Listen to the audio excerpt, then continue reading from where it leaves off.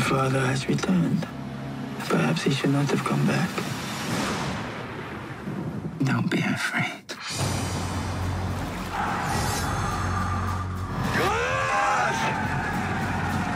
Vikings, nueva temporada, segunda parte. Estreno el 5 de diciembre por Fox Más Premium.